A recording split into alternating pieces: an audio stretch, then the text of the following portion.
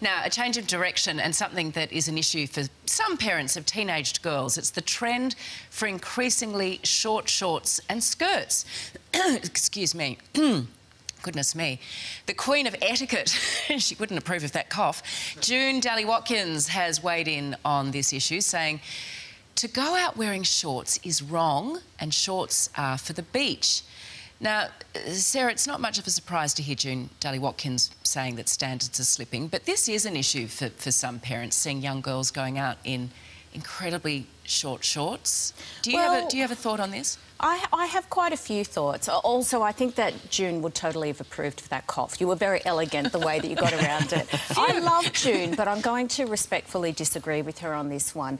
To be fair, make the disclaimer, I don't have daughters and I don't have a teenager. And I make that disclaimer because I think a lot of parents of teenage daughters would roll their eyes to hear me say, I don't think that this is a conversation that we should be having. I don't think that self-respect and, and any important qualities in this life life can be measured by a hemline. I think what we need to do is say to young women, have respect for yourself. Don't measure yourself by the way that other people are looking at you and, and to instill them with those qualities, which probably correlates with a bit of what June Dally Watkins is saying here. But I think it's really problematic to be saying to girls, you know, check your hemlines, it's cheap. I, I, I just don't like well, the yeah, message. I think her words are they that. need to regain some elegance. Ollie, are you brave enough to weigh in on this?